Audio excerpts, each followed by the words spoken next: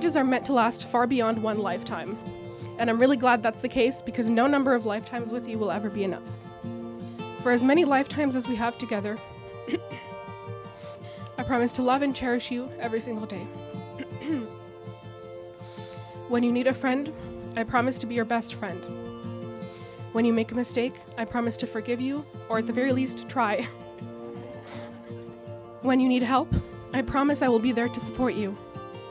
Unless that help involves folding laundry, in which case my support shall be temporarily withdrawn. Aarzoo, I always want to be there for you. I want to tackle all of my tough days with you by my side. I want to share all the wonderful things of life with you too. I promise to support you through your struggles and delight in your successes. I promise to strive to be the best version of myself because you deserve nothing less. Aarzoo, I promise to love you endlessly. When you are doubting yourself, I promise to encourage you and build you up. And when you fall, I promise to pick you up. Matt, you already know this, but when I was writing these vows, I was really struggling with how to end them. And as usual, I obsessed and agonized over it for several months until I realized all I really want to say, and all I have been trying to say this entire time, is that I love you and I will love you forever.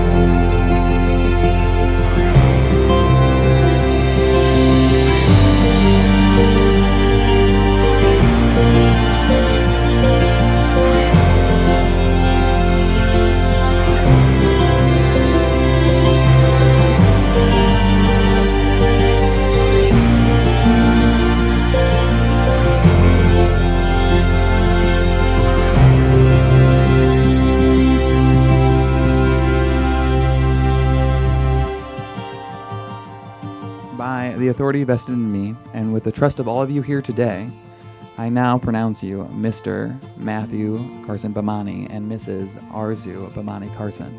You may now kiss the bride.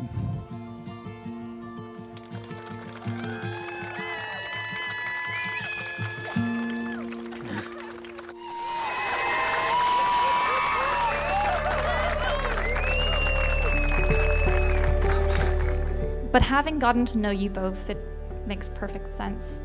You're both zany, goofy, and irreverent in the same way. Your household will never be devoid of laughter. You care deeply about those that matter to you and extend that grace and kindness to each other. And your shared love of your furry children, Artemis and Ruli, is unmatched. I wish you the most joyful marriage. Congratulations, and a toast to the newlyweds.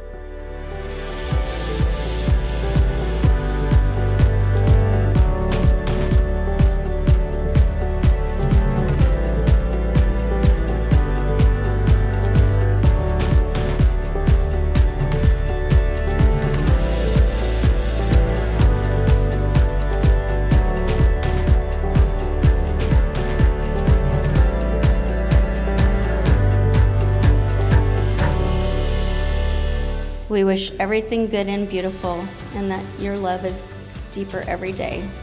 The future is bright. Congratulations, Matthew and Aarzoo. Despite the fact that we are both really bad at long distance communication and we have gone months and years of like not talking, whenever we are in spaces together, whether it's virtually or in person, you always have brought your full self and your full enthusiasm to those spaces. And I know for a fact that Aarzoo has seen that in you as well.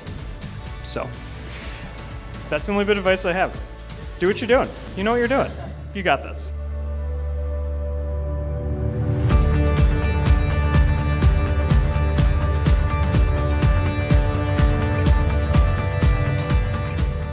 You're a vulnerable man, and that's hard. And that's a lovely thing. And Aarzoo's lucky to get that in someone. So I love you both. Aarzoo and Matt as you start this new chapter in your lives, on behalf of the entire Bhimani family, we wish you nothing but a lifetime filled with boundless joy, enduring love, and remarkable memories together. Here's to the newlyweds.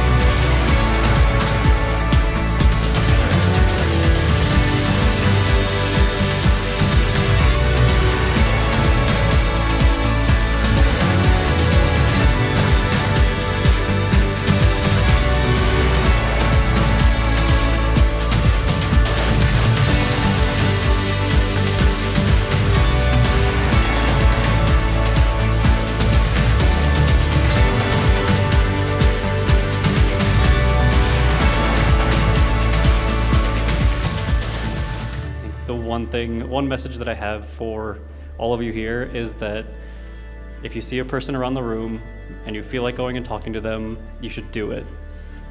Because every single person here is wonderful. There's a reason we invited you. We wish more people could have been here. Circumstances meant that, that can't be true, but we're glad that you're here. Thank you all so much for being here. Um, I love all of you.